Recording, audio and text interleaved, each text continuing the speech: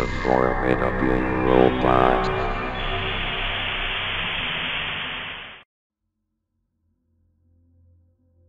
Assuming that you've all heard of the streaming service Netflix, I'm just going to jump straight into the story. I don't use the service much anymore, and for a pretty good reason. You see, I live in the UK, and there's not much to watch on the UK Netflix in terms of TV shows, in comparison to the Canadian or US Netflix. I found out that there was a way to access the Netflix in countries by typing a DNS code manually into your device. After a short time searching around, I came across a website that included hundreds of DNS codes that users had uploaded for the Canadian and US Netflix. Jackpot. I thought to myself. Without a second thought in the world, I picked the first DNS code I saw and typed it into my Xbox settings. It didn't work.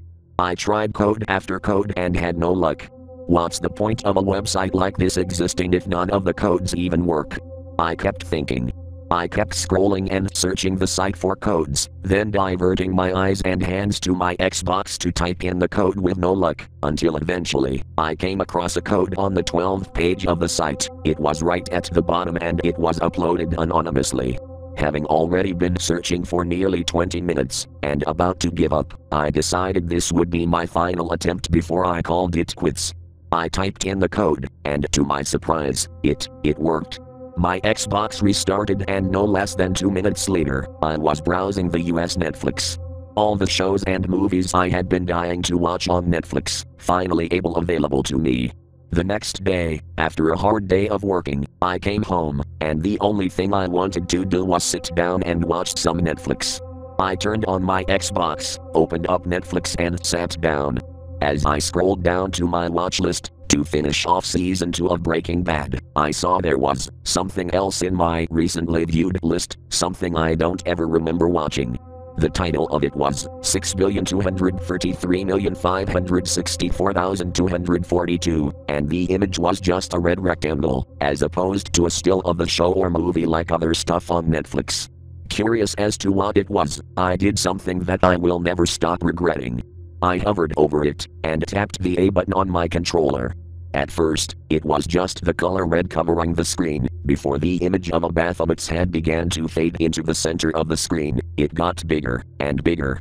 Until I jumped out of my seat, as a large screeching noise blared out of my speakers, and images of mutilated bodies, animals being tortured, and people being abused flashed across the screen. This went on for about 30 seconds, and the sound of screaming got more and more intense, and then, darkness.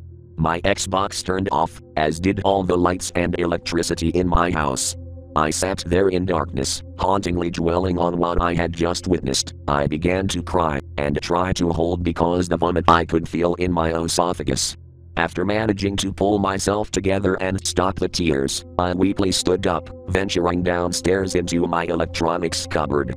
I managed to turn the power back on, and I ran upstairs to my Xbox. The Netflix app had been deleted from my hard drive. I later discovered that my DNS code had been switched back to automatic.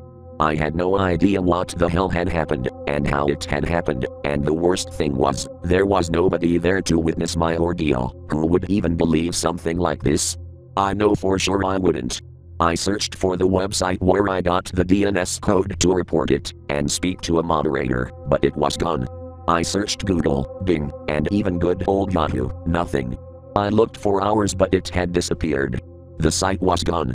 I decided it was a good idea to write about the horrible episode in the actual Netflix forums, so I made an account hastily and made a thread asking people if they had experienced anything similar to what I had when entering a manual DNS, without detailing everything I had saw in the video. I refreshed the page to see if anyone had replied, only to get an error 404 saying that the page didn't exist. My thread had been deleted within a few minutes. This was all unsettling, but not as unsettling as the main thing. The main thing that sends shivers down my spine, something it took me weeks after this experience to realize. The title of the quote unquote show, 6,233,564,242. It was, it was my IP address.